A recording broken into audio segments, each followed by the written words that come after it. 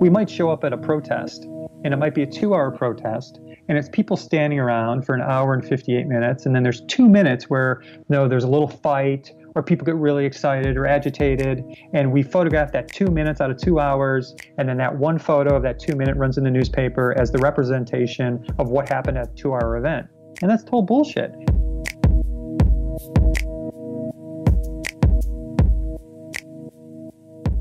Hello, everyone, and welcome to the Photo Forward podcast, where we explore the stories behind some of the greatest visual storytellers in the world. From their photographic origins to finding work life balance as creative professionals, to how to actually make a living as a photographer, videographer, or multimedia creator. We're going to uncover what makes them tick and their shutters click. I'm your host, Ben Brewer. Today's episode is a big one. Today, we're talking with a true veteran photojournalist, the great Scott Strazzante. After spending the first 27 years of his career at Chicago newspapers, including 13 at the Chicago Tribune, Scott Strazzante joined the photography staff at the San Francisco Chronicle in 2014. Scott is a former POY and NPPA National Newspaper Photographer of the Year, an 11 time Illinois Photographer of the Year, and was part of the Chicago Tribune team that won a Pulitzer in 2007 for investigative journalism. Scott's personal project, Common Ground, has been featured in National Geographic, Mother Jones, the New York Times Lens blog, and CBS Sunday Morning. The 23 year long effort, which has won BOP's Best Feature Video and POYI's Community Awareness Award, became his first book with PSG. And in October 2017, Scott's second book, Shooting from the Hip, was released. The book consists of iPhone hipstamatic snaps from around the USA. In today's episode, we dive in deep on the practicals of getting started and staying motivated on a very long term documentary project, how a kid from the south side of Chicago got connected with some of the greatest photographers out there, and why getting creatively bored, yes, bored, is the best way to rethink your photographic style and technique. You can find show notes with the photos we're talking about and links online at photoforward.media slash podcast slash Scott. So, without further ado, our interview with Scott Strazzante. Scott Strazzante, welcome to the Photo Forward podcast. Ah, great to be here. Thanks for inviting me. All right. Well, people may have seen some of your work just recently uh, covering a lot of the Golden State Warriors basketball. So have you uh, recovered slightly from the the craziness that has been that? Yeah, it's it's weird. It's like I got to San Francisco in 2014, and I've gone to the NBA Finals with the Warriors every single year since I've been here. And so it's kind of funny. Like the sports photographers here are like, "Oh, you're a good luck charm. Thanks for coming." You know. So it's been it's been really interesting. I covered the uh, Chicago Bulls in the Michael Jordan days. So so this was my 10th NBA final that I covered and wow. and so it's been a lot of fun for sure. It, it never gets old. Awesome. Well, yeah, I think we're going to we'll get into kind of you're moving out to to San Francisco, uh, you know, about 4 years ago, but I kind of want to I want to go back. We'll kind of do things a little a little out of order. So I was first introduced to your work uh, way back when I was interning uh, with Jerome Pollos uh, out in northern Idaho, and sure, and I got started you know, that was my first internship. Um, and really early on, he said, you know, go check out uh, Scott Strazzante, Common Ground. And that was pretty much all he said. He's just go Google it. You'll you watch it, see what you think.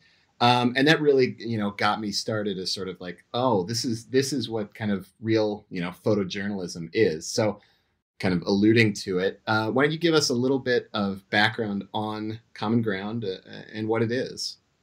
Sure. So um, I got into the newspaper business in the late 80s. I had no formal training. I went to a liberal arts college. Um, and my first job out of uh, college, which was I kind of got a, it was kind of a fluke that I got an actual job in newspapers, but it was just a, a very small community paper um, on the one of the south suburbs of Chicago, and it wasn't a great visual newspaper. I shot a lot of sports. Um, I probably did five, six assignments a day. Um, so they were just like cranking them out, and and I, I, had no experience at all doing photo stories. And so in 1994, so I'd been at the paper for five, six years at this point. I, I got one of the typical assignments that they would give at this newspaper. It's like, okay, we're doing a story on people who raise animals um, in this one township near the circulation area. And so we're going to spend you to send you out to spend two hours with a guy who raises wolves. And then we're going to send you out for two hours to photograph someone who raises llamas. And then there's a, a horse farm. And then the final stop was I was supposed to spend two hours um, on this cattle farm run by Harlow and Jean Cagwin. And when I first got on the farm, I was struck by just like how run down the place was. The barns were falling apart. You know, there was like three feet of manure everywhere. Um, Harlow was 71 at the time. His wife was in her early 60s, and and they were really sweet to me. But you could tell that it was a struggle. And and so the assignment was just to kind of get a feel for what they were doing. So I photographed them um, tending to their cattle, and you know, just that was about it. And as I was leaving, being a city boy, I really enjoyed my time visiting them on the farm. I just kind of offhandedly said, "Hey, can I come back and visit sometime?" And they were like, "Sure, that's fine." Um, probably assuming that I never would come back. Uh, but then a couple um, weeks later, I stopped by, and and then like a month later, I stopped by, and and, and it ended up I really wasn't doing much photography. It just be kind of can be a social thing. I'd come, and Harlow and Jean would stop working, and we'd go in their kitchen, and Jean would make some dessert for us, and we'd sit there and chat and then my kids um, were born right around that time, so I started bringing them to the farm um, to show them the cattle, and and they had a lot of cats on the farm. And so, kind of from '94 to about '98, it, I really didn't photograph much on the farm. I would hang out a lot um, and occasionally make photos, but you know, it, at that point, it wasn't anything. It was just more like someplace that I would go and hang out. And then in 1998, I switched to another newspaper in Joliet, Illinois, the Herald News. And that paper was incredibly visual. And not only did they assign long term stories, you know, it was expected that the photographers were self generate most of them. And so I had no experience at all self generating stories. So I just kind of said, hey, I, I know these cattle farmers. Maybe I can uh, do a story on them. And I'm like, sure, that sounds great. And so I had to go back and literally tell Jean and Harlow, hey, you know, I love hanging out with you guys, but I want to actually do a photo story on you now and take photos. And the interesting thing was Jon Lowenstein, who's an amazing photographer. He was working um, at the time at a weekly in that area, and he'd actually photographed Jean and Harlow for a little story for their newspaper. So um, Jean and Harlow were used to being photographed, and and so I started photographing them, and it was it was a really great place for me to learn long-term storytelling because every day was the same thing. Um, they were, you know, get up at the same time and check on the cattle, and you know, just kind of it was just a very, you know, routine way of life. So I would photograph him like branding cattle one day, and I just wouldn't, it wouldn't be very good. So the next day I would come out and shoot it differently, or I'd do something at a different time of the day or a different lens, and I just kind of started perfecting images, and and I, I really had no idea yet what the idea of the story was. I thought it was just going to be a day in the life of two cattle farmers. But then Harlow's health started deteriorating. He had carpal tunnel syndrome, he had asthma, he had arthritis. And then um, a lot of the farms around the Cagwin farm started being sold to subdivision developers. And so it was kind of something where Harlow and Jean didn't want to leave the farm but Harlow had three siblings who had grown up on the farm, and they kind of were in their you know late 60s, early 70s, and and they were hoping to sell the farm and get some money so they could enjoy their their senior years. And so it took maybe about two, three years, and a subdivision developer approached Jean and Harlow, and they finally ended up selling their farm. And at that point, I just was then photographing, um, you know, their kind of daily life as they got ready to ready to leave the farm. The they actually lived on the farm for about a year while they started building the subdivision around them. And so I figured at the end, when they left, that would be the end of the story. And the newspaper, the Herald News, did a couple stories on it. But then, before the, the Cagwins left their farm, I got a job at the Chicago Tribune. And so I brought the, the story along with me to the Chicago Tribune. And then finally, on July, um, I think it was July 2nd, 2002, um, the Cagwins left the farm for the final time, and, and basically they they moved out and they started tearing the house down like five minutes after they moved. And so it was just a really emotional day, and I got this really nice photo of Harlow. Not nice. It's, it's funny how photographers we kind of you know like really sad dramatic photos like oh it was a nice photo you know but anyway so it was like it like it was a moment that kind of capsulized you know the years of struggle. It was Harlow with his head down on this log in his front yard while his home was was being knocked down behind him. And so at that point, I'd photographed the story for eight years. Um, it had been published in three different newspapers. It was part of my portfolio that won National Newspaper Photographer of the Year in 2000. And so at that point, I thought, well, you know, this is it. The story's over. And Harlow and Jean um, bought another house on a farm, which they they weren't they they leased the land and they were just retiring. So I didn't really feel like I wanted to photograph them anymore. And so I just kind of went back to my normal newspaper life. And then for some reason, I just kind of felt like there was something more to the story. So I would go back to the subdivision that was being built and I photographed the construction and I photographed some of the model homes going up. And at that time, I said, I think I would like to try to find a family in the subdivision and maybe they would have like cow salt and pepper shakers. You know, that would be like the one thing that could tie it together, like showing that this used to be a cattle farm. And so I, I, met a couple people, and and I had one family. The it was a young couple, and the woman was pregnant, and they had seen the story in the Chicago Tribune, and I asked if I could document them as they lived their life, and they agreed. But I just it just never kind of worked out for me. I guess I, I never went back to visit them. It just things were too busy. I, I don't know exactly what happened. It just kind of seemed like nothing would happen. And so then 2003 became 2004, became 2005, became 2006, and I really hadn't photographed much at all. And then one day I was showing um, my work to a, a photo class at this place called College DuPage, which is um, a community college outside Chicago. And it was, you know, half adults, half college age students. And as part of my presentation, I showed about 50 photos from the farm and I talked about what it was now. And a woman raised her hand in the class and said, I live in that subdivision. And I was like, really? And it ended up being Amanda Grabenhofer. And um, she invited me to visit her home and her family on a Saturday when they were having an Easter egg hunt. It was right before Easter. And Amanda was married. She had four kids. Three of them were triplets. She had a dog that looked like a cow.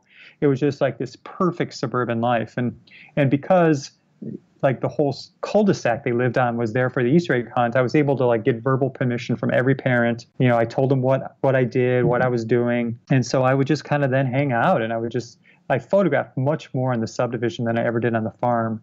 Um, there was so much more going on. You know, I when I was on the farm, it was weird. I would only go on Mondays, and I would just photograph you know, on Mondays because that was my day off. Because it, this turned into a personal project. Even though I was doing it for newspapers, um, I wanted to retain ownership of it. So I started just shooting it with my own cameras and on my own personal time. And I, I, I kind of let, um, you know, the newspapers publish it because they would sometimes let me work, you know, during company hours or the Chicago Tribune actually, I was using film, their film. My boss let me use film there. So they, they, they supported the project, but I still wanted to retain ownership. And so then you know, I started photographing on the subdivision, and I really didn't know how I was going to make it work.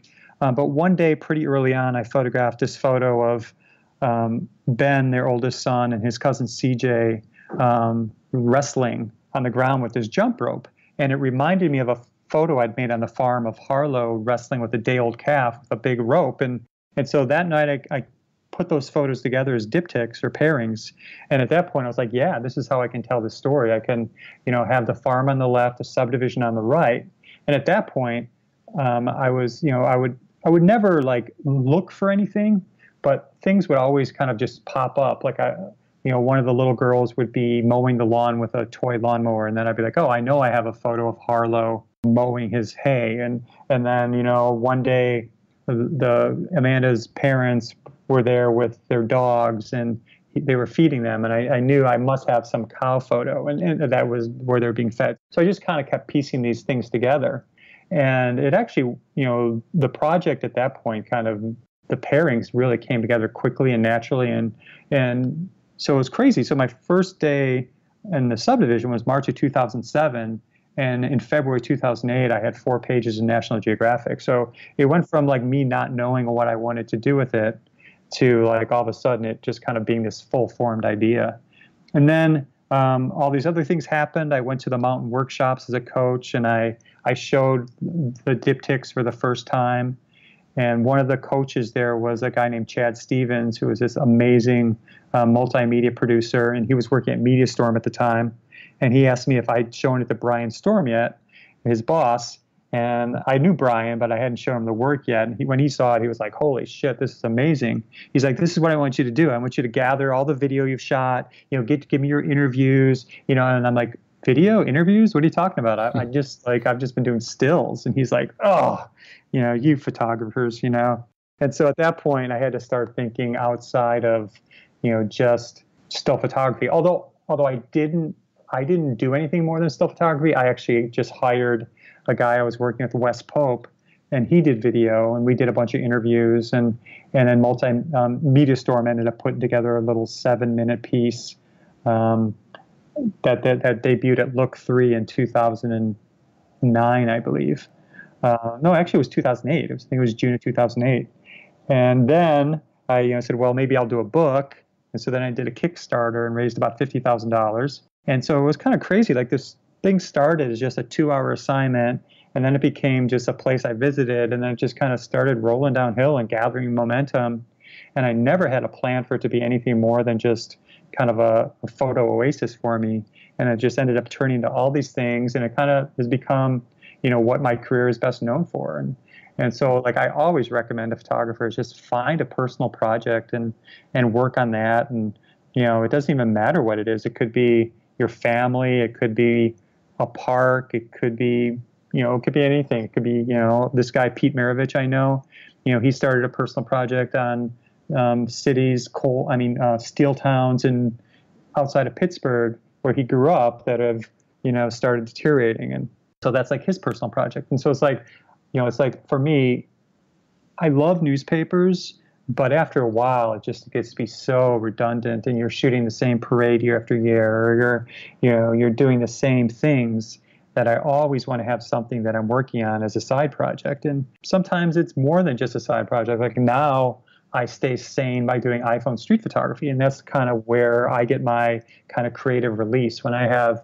a week or two weeks where I have nothing but boring non-visual assignments, you know, I'll, I'll, do more street photography. And then the weeks where I actually have really good assignments, I'll do less. And and so for me, it's like photography kind of is my hobby and my career. So I, I definitely, you know, want to stay evolving. I want to stay fresh and relevant. So I just don't ever want to get to a point where I burn out. And and projects like Common Ground and and my book, my new book, Shooting from the Hip, you know, those are things that that I do to just stay fresh so my day job doesn't become boring.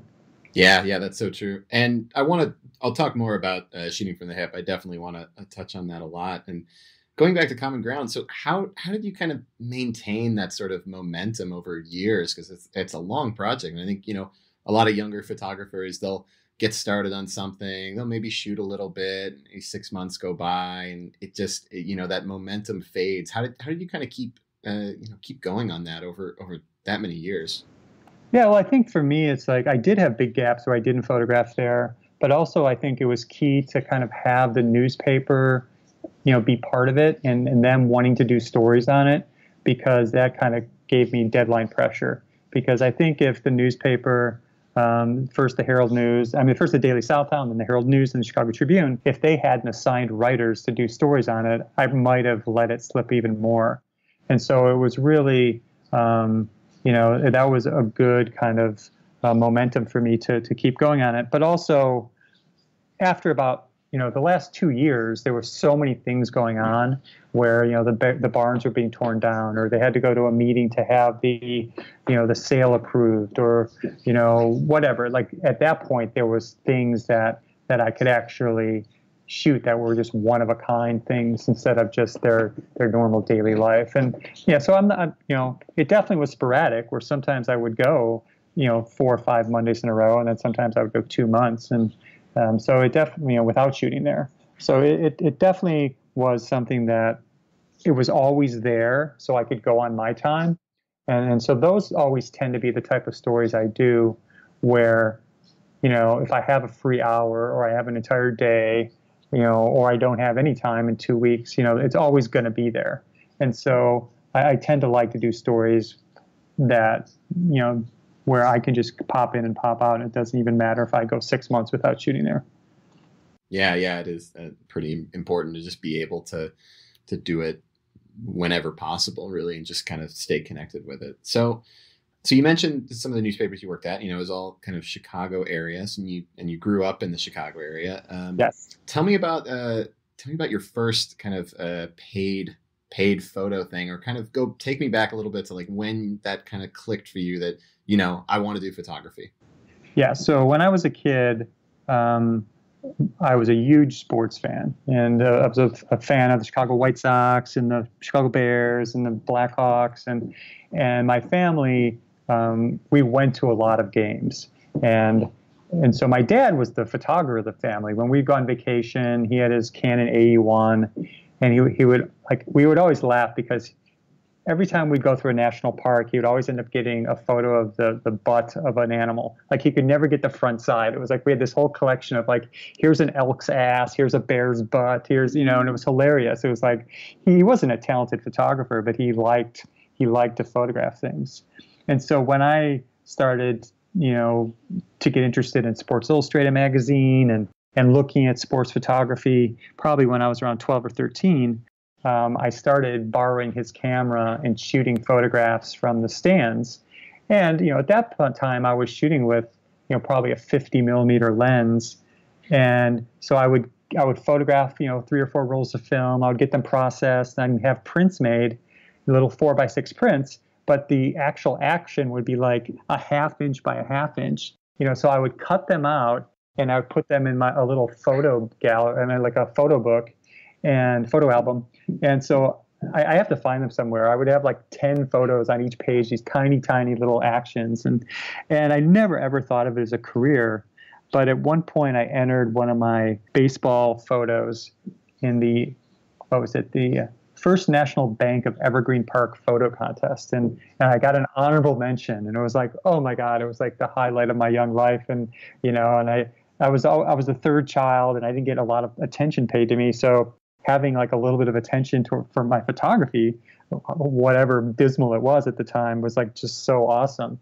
So I didn't really, you know, still think of it as a career, but I started photographing more. And when I went to college, my dad was a tire dealer, and I was supposed to take over the family business.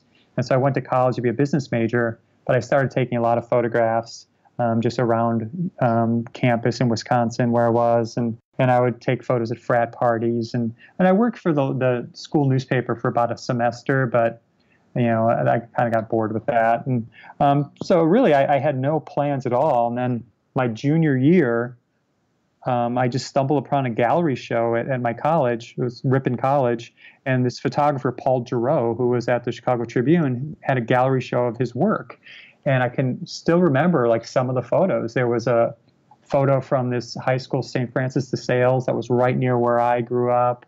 There was a, a photo story he had done on an old monk, you know, and so he had all these black and white photographs, and I, I was just basically like, yeah, this is what I want to do. I want to be a photojournalist. And so Paul was there, and I worked up the courage to to talk to him.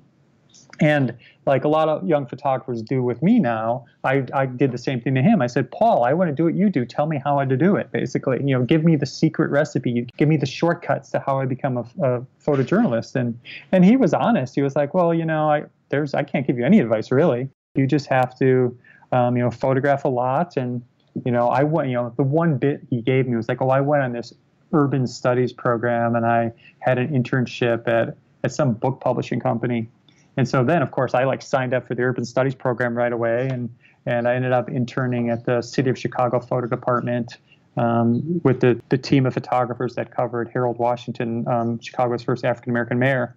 And so I think they let me photograph two days, and and but most of the time I just cut their negatives and I filed them. I would make prints, and and so it was a really kind of a good introduction to you know what professional photographers do. And so then when I went back to college the next semester, I became an art major and I definitely started actively thinking, well, how do I become a photojournalist?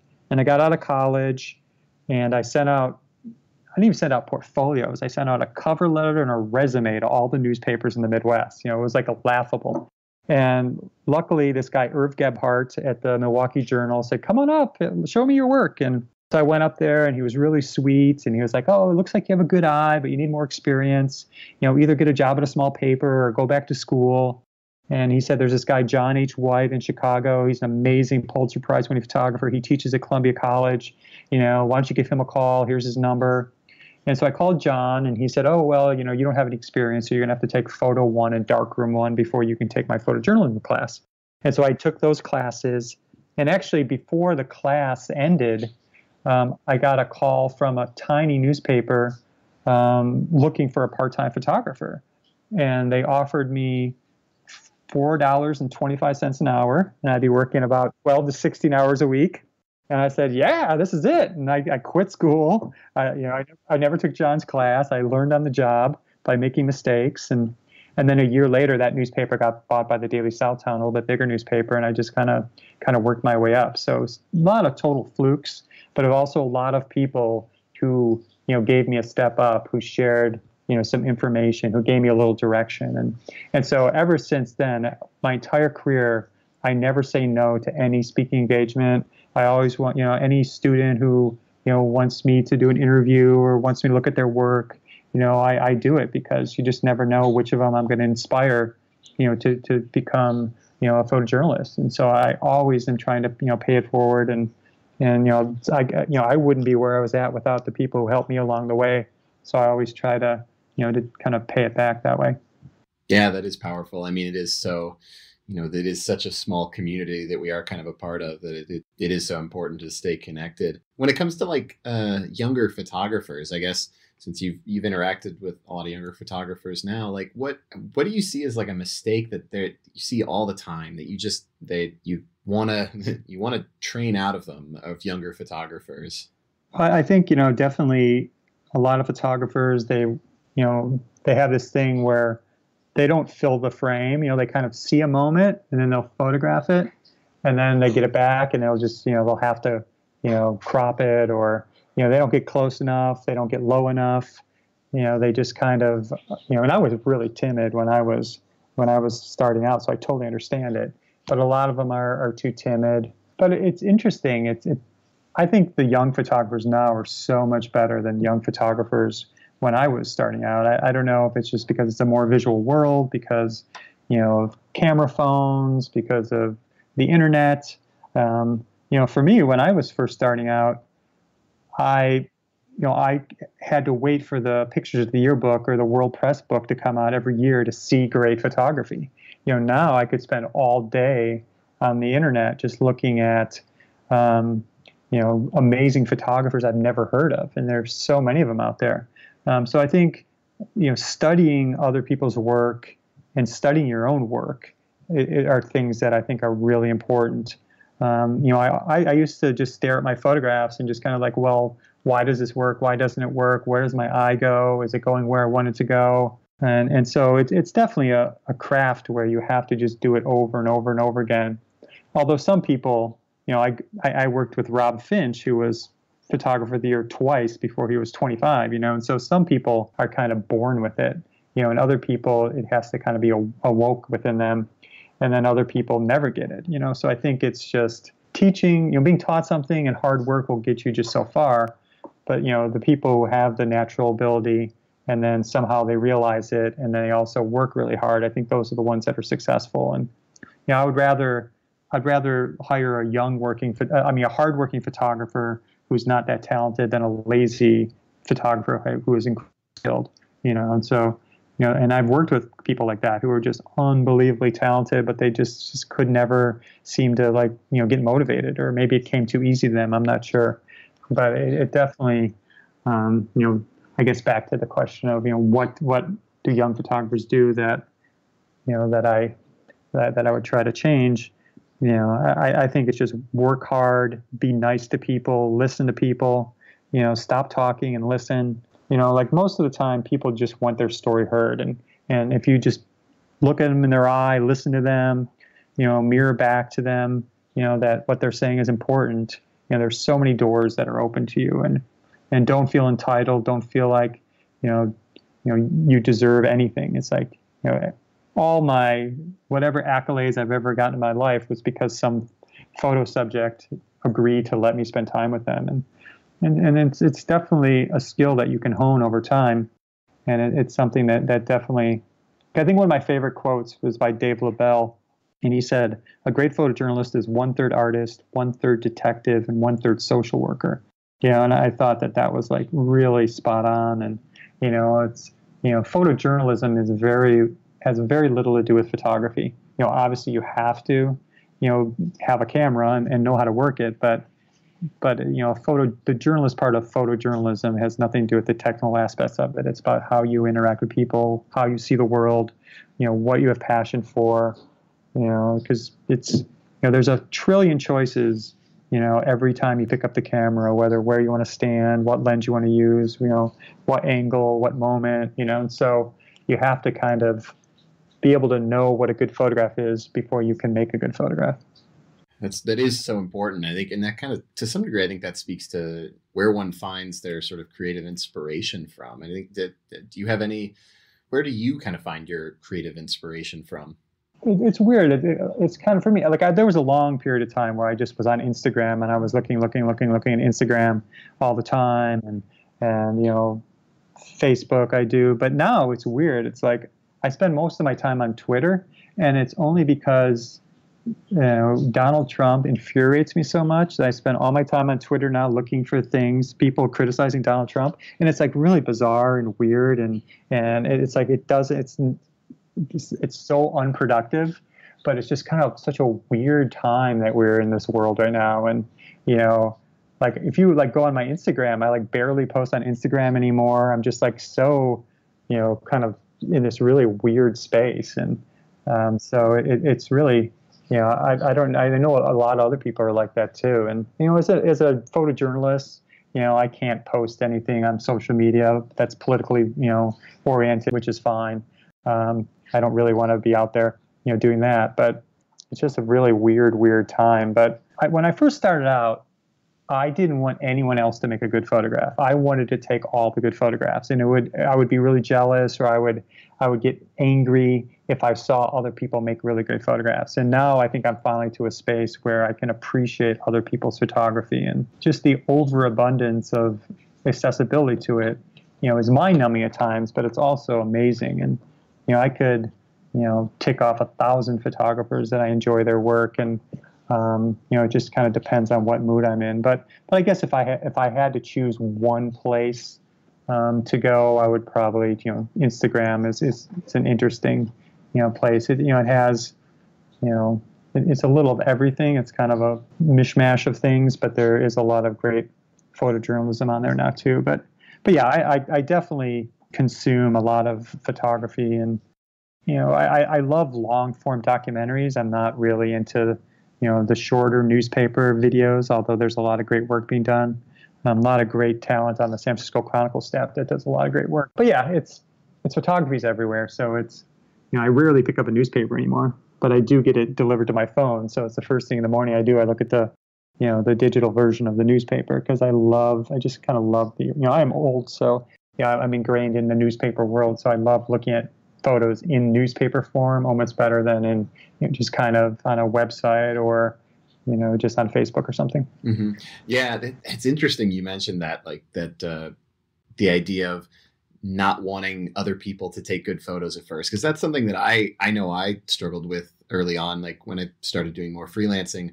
The honest truth is, you know, I get frustrated when other people got assignments that I didn't, or I see someone doing other work, and at first it was it was frustrating, but I think there's something to getting over that and you know appreciating the work that gets done. It's kind of that rising tide you know raises all boats sort of mentality that once you get away from that scarcity mindset of you know it's okay that other people take good photos yeah I, I, think you know too it's like i spent decades being a contest whore you know where i like just entered so many contests. I entered all the clip contests. I entered the year-end contest. You know i just wanted to win win win win win you know and and it, it definitely was a time where you had to win photo contests to get your name out there you know because you really had no other choice.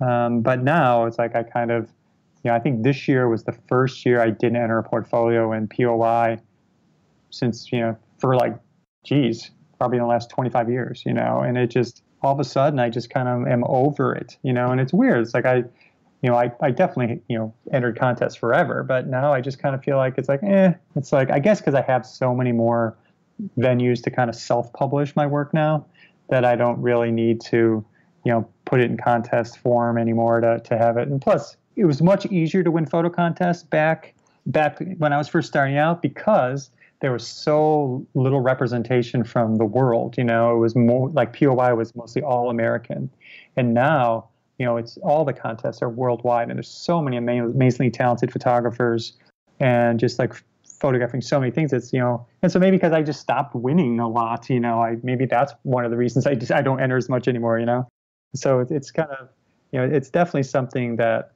I find photo contests fascinating, and I think if I was ever going to get like a master's or something, I would love to do a thesis on on just photo contests and just kind of you know the judging of them and and the entering thing and just the whole psychological dynamics behind a contest because it is pretty fascinating. And, and I've judged a lot of contests and I've entered more. And it, I know it's super subjective and just because you win doesn't mean you're best and just because you lose doesn't mean you're the worst but it's really hard to to get past that you know that kind of needing you know that the empty hole in you to be filled with with awards you know and i definitely went through a phase where i felt i was only a good photographer if i won an award and if i didn't then i had a bad year it was just really kind of it, it just definitely is not a healthy thing i think for photographers but at some point it's a necessary evil yeah, I mean, yeah, contests are really their own. You could spend you could spend hours just talking about contests itself in terms of how one photo wins and then all of a sudden it seems like over the next year you see a lot more photos that try to copy that exact style. Yep. No when i was early on i would do that. If like the first place sports action photo was of a rodeo i was like i gotta go shoot rodeos or if it you know if it was pee-wee football it's like i need to do a pee-wee football story you know? It's like you kind of get this mindset of you know and i think that's another going back to one of your earlier questions is for young photographers is don't chase what other people are doing you know? It's like try to find your own path you know try to photograph something that that you find interesting and kind of be a visual leader instead of a follower and and you know I, I really never thought of it in that way it wasn't the, the reason behind it but I, I do have pride the fact that you know that I was one of the first photographers to be awarded for diptychs and then POY you know does not allow diptychs anymore you know and, and and then I started doing I came late to the game on um, iPhone photography, but now I've kind of made it my own a little bit. And and you know sometimes when you know people are like, oh, who's the, you know who's a good iPhone photographer? You know, like my name pops up, and I've gotten jobs just because you know people say, oh yeah, Scott's a good iPhone photographer. And so it, it definitely is something that you know I, I like following the new technological trends. And then when I do it, I, I don't want to repeat what someone else is doing. I just kind of want to do my own thing. And I think that's you know it's so important to just kind of trust your vision, although sometimes it's hard.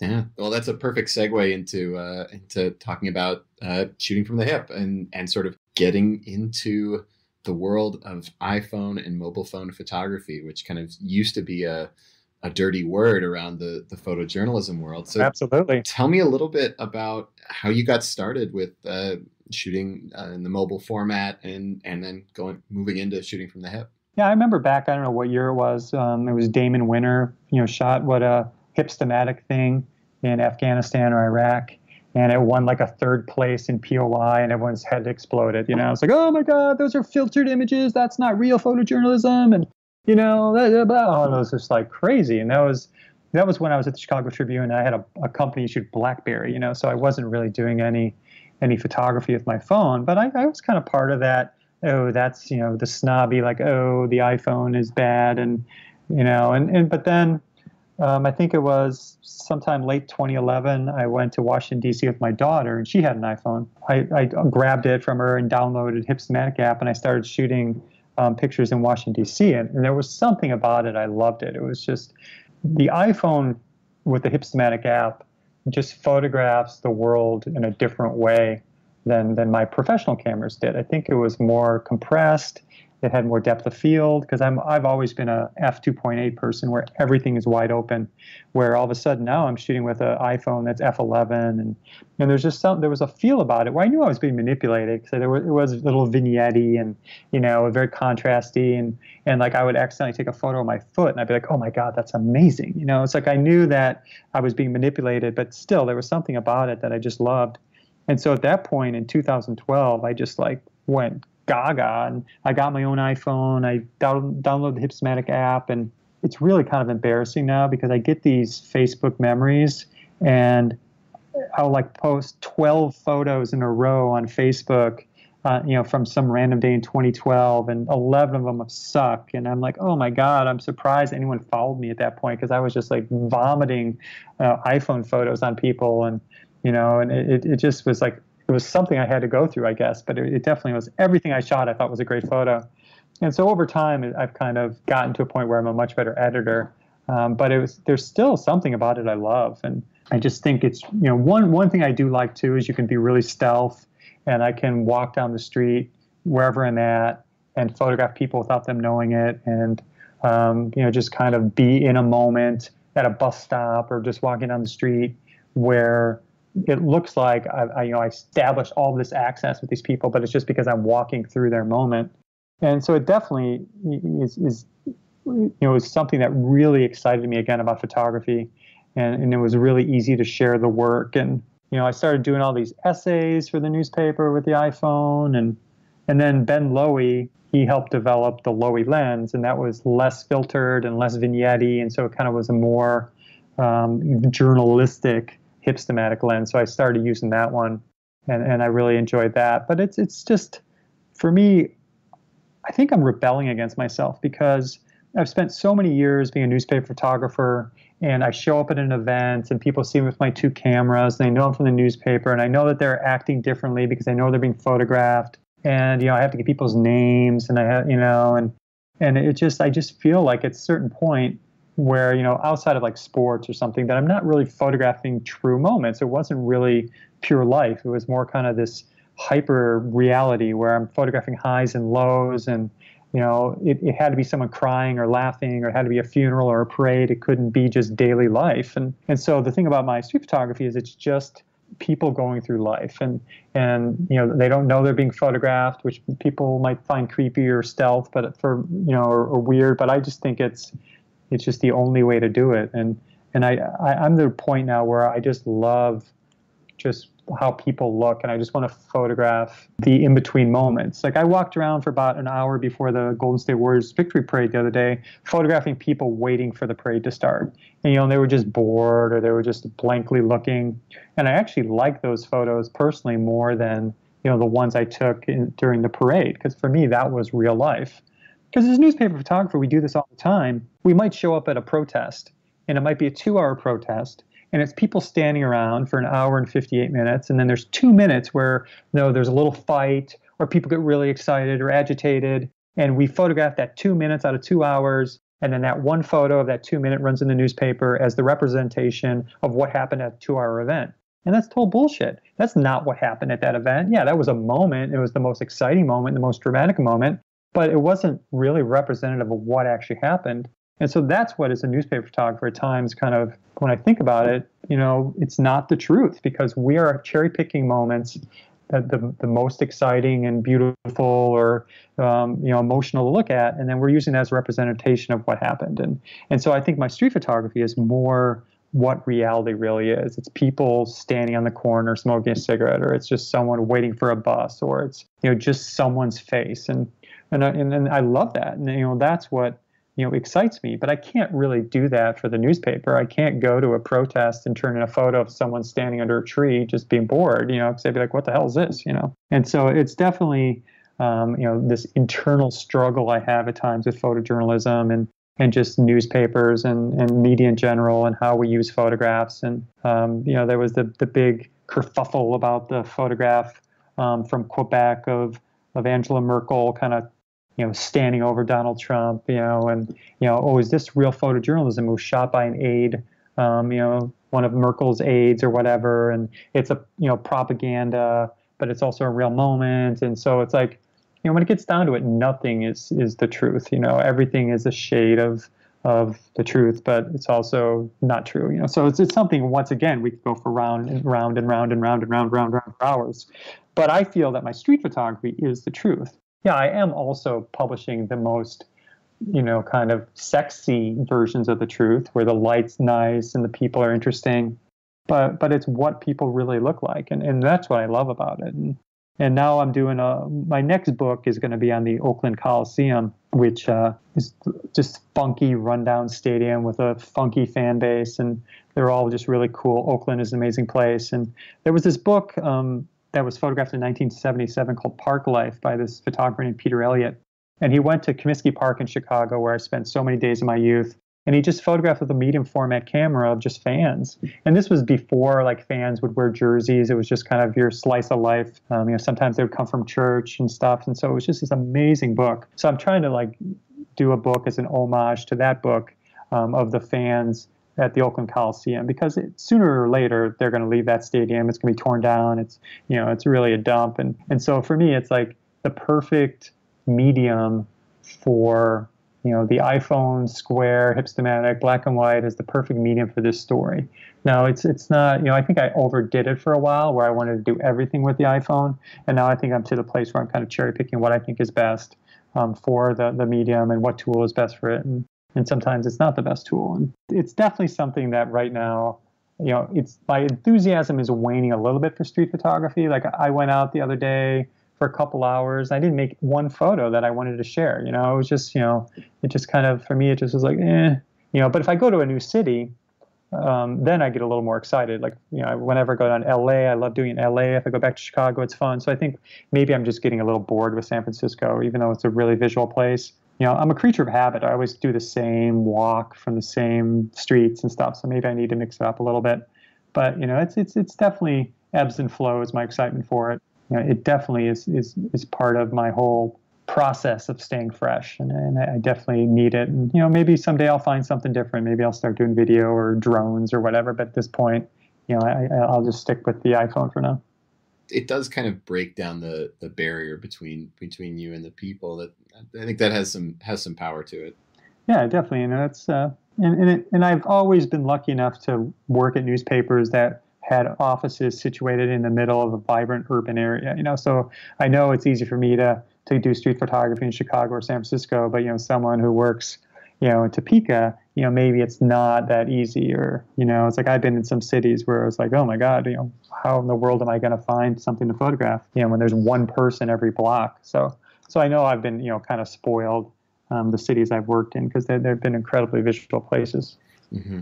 Yeah. So speaking of speaking of cities, you know, obviously the thing we've kind of alluded to throughout this is, you know, you worked in Chicago area for you know 20 plus years, um, and then you know four years ago you you moved out to san francisco. So kind of tell me about the story of you know moving out there your thought process about kind of changing locations you know after you've been in in one place for so long. Because i think that's that's something a lot of people kind of struggle with in finding photography jobs. It's like do do i stay connected in my place or do i seek out you know opportunities at different different newspapers different cities? So i guess speak to that a little bit.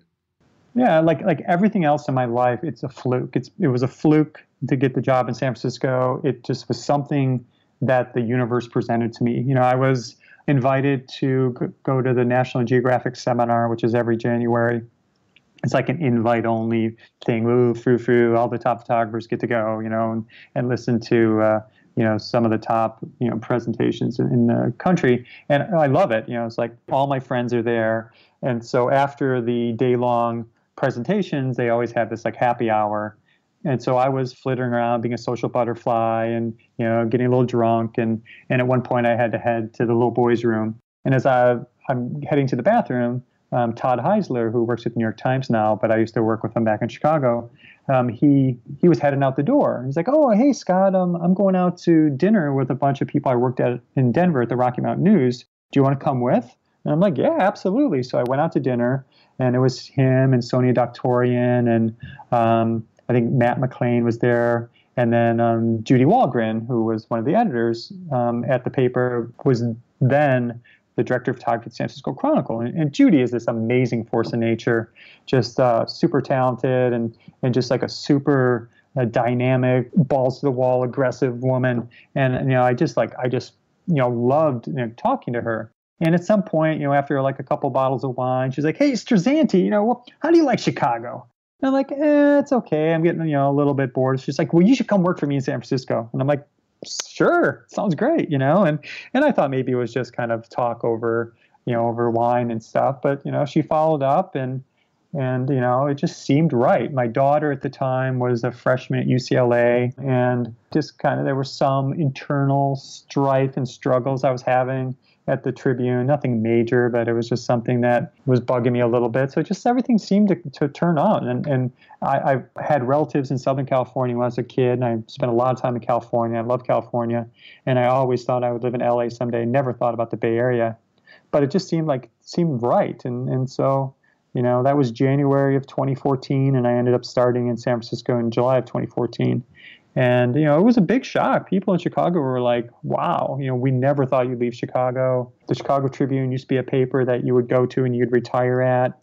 And, you know, and I, I really thought maybe I would someday. I would never leave Chicago because I, I, I Chicago and like Chicago, I still love Chicago, but people in Chicago love Chicago. It's like it's one of those cities where people who live there just adore their own city, you know. And and so even though I've traveled the world a ton, you know, I always thought Chicago was one of the best cities in the world, and I still think it is. But when I got to San Francisco, I was just like, oh, okay, this is world class, you know. You know, it has its, you know, San Francisco is also is a mess at the same time the homelessness and the mental illness and the drug abuse and um, where my office is at the Fifth and Mission is you know just right on the edge of the Tenderloin, which people are just littered on the sidewalks, and it, it, it's pretty depressing. And and the kind of the the separation of wealth and poverty is growing every day, and and so it's a really fascinating place to work. It's kind of depressing, um, but also you know, I have the luxury now. I live up in Marin County, which is super nice and beautiful, and and so you know, even though I work in San Francisco, I kind of escape to this like vacation land every day when I go home, and and so I'm not like living in San Francisco. You know, it definitely gave me a kickstart too. You know, it's like once again, it's like how many times can you shoot the Bud Billiken parade? You know, like 17 years in a row or something. You know, it's like you know, it's like you just want to look at something different after a while, and you know, I think I could have stayed in Chicago and been happy, but but I, I definitely needed a career change. And like right now, I have no plans of leaving the Chronicle, but who knows? You know, it's like, you know, I, I kind of feel like eventually I'm going to get kicked out of newspapers just because newspapers, you know, are kind of, you know, getting to the point where, you know, it's just not a viable place to live. And I mean, a viable place to work. And, and especially when you live in the Bay Area, it's like, it's so expensive out here you definitely I definitely have to supplement my income with kind of just doing whatever I can, you know, like photo walks or you know little freelance jobs here and there or or whatever. I, I doubt I will be at the Chronicle for 13 years like I was at the Chicago Tribune, but who knows? I, I still love newspapers. Yeah, it's kind of it's kind of being open to to opportunity is kind of what it sounds like if I'm hearing right.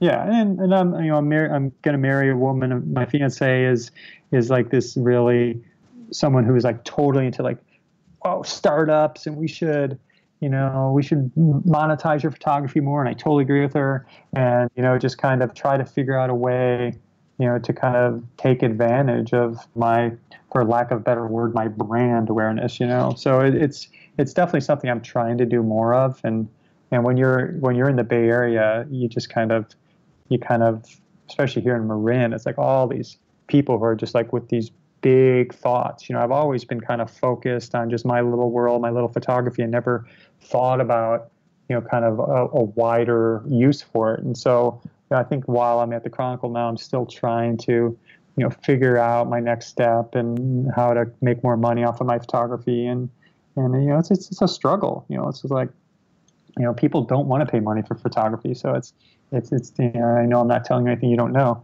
And so it, it's definitely, you know something that I'm hoping to kind of figure out.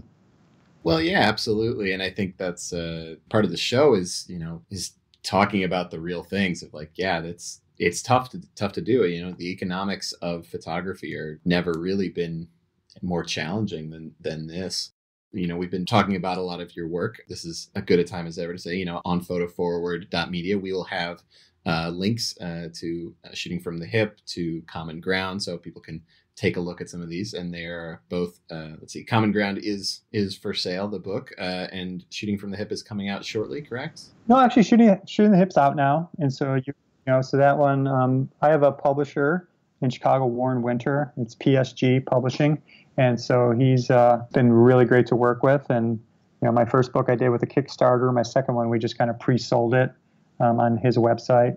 And so, yeah, um, you know, it's commongroundthebook.com and shootingfromthehipbook.com. And, you know, definitely, you know, if you just Googled my name, you know, you would be able to find both of them. And, and so, yeah, know, would love to, uh, spend a couple more years in San Francisco. So any money that you guys can throw my way would be fantastic.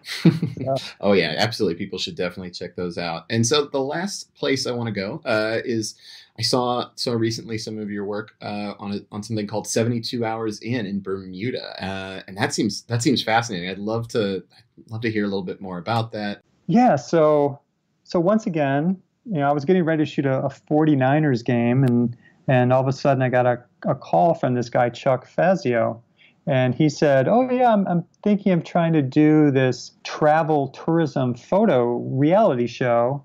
And I was asking some of my photo friends I know I need an iPhone photographer, and who's the best iPhone photographer in the world? And so Gary Hershorn and uh, John Mc- Mc- McDonnell, um, who are New York and Washington D.C. respectively photographers, really amazing guys, and you know they recommended both of them recommended me to Chuck, and so Chuck gave me a call, and and so it's been this kind of long and winding road, and been kind of some fits and starts and stuff, but we ended up going down to Bermuda to shoot a pilot for it um, a couple months ago, and it's it's a really interesting concept. So basically, it's what would be would be me and Chuck um, would come into a city, and it would basically be servicing the tourism bureaus of, of a city. Say say the tourism bureau of uh, Denver, you know, would have us come in. Like the first two or three days we were in town, you know, we could do workshops or you know give talks at schools or something, just kind of do community activities. And then for 72 hours, we would then start um, a photo contest between me and Chuck. And, and, you know, Chuck's a guy who does a lot of drone photography and, you know, he does underwater photography and he's, he's kind of this tourism guy. And where I'm more of this down and dirty photojournalist with my black and white street photography. And so we kind of go off for three days and kind of do our own thing. At the end of the three days, um, there'll be a gallery show and the community could come and and people could kind of vote on what they thought the best photos were. And then so it would be kind of a, you know, an experiential thing for the tourism bureaus in the moment, but then also it'll be photographed as kind of a, a competition, you know, where kind of all our little struggles and heading off and things that happen and funny things and weird things that happen.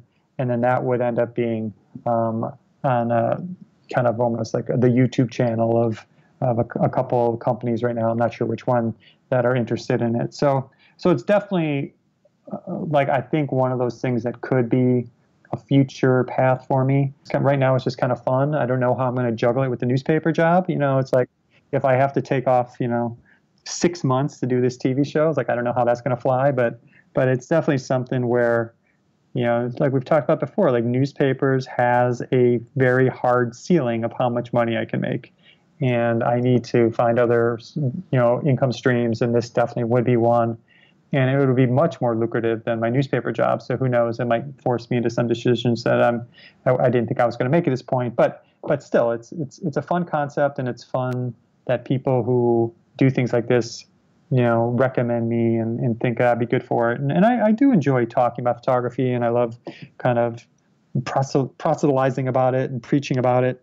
And so I would love to have that kind of venue to be able to to talk about photography and get people excited about photography, you know, both one on one and also kind of in a broader audience. So it definitely has its possibilities. I think it's like a 50-50 chance of actually happening, um, but but it's definitely something that that something like that I think in the future I would like to do. You know, I, you know, it would be wonderful to just kind of travel the world and, and get paid to do it and shoot photographs, and it would, it would be a lot of fun. Well, that's that's such an, a great concept, and I think I something about almost kind of community journalism basically you know you have that show at the at the end the gallery show and people come in from and see a part of their city that they probably maybe didn't see especially through through you and chuck's eyes i think that's uh, that's pretty neat yeah yeah it's, you know it's kind of you know it's kind of sort of like you know what workshops or you know missouri photo workshops do but a very kind of smaller more you know hopefully personality based um, thing because chuck's chuck's a he's a wild card man he's he's funny he's he's a, he's a he's a full of life. So it'll be fun to work with him if we if I can. That's awesome. Well, I'm, I'm fingers crossed for for you guys for that. I think that I I definitely watch it. All right, awesome. All right, now we're going to finish today's interview off with a bit of a lightning round sort of series of questions about photography, you know, personal work-life balance, a few quick things here, and then we'll we'll sign off and and let people know where they can see more of your work. Awesome. All right. What's the one thing in your bag that you don't leave home without? Uh, 50 f1.2 lens. What do you do outside of photography that recharges you? Now I'm doing yoga. I do yoga. I get up every morning at 6 a.m. and do yoga with my girlfriend, and it's amazing. I've never felt better. It's, it's really, you know, if you've never done yoga, you're like, oh, yoga, but it's really great workout and it's really good for you in many, many, many ways. What drives you and pushes you to be a, a better visual storyteller?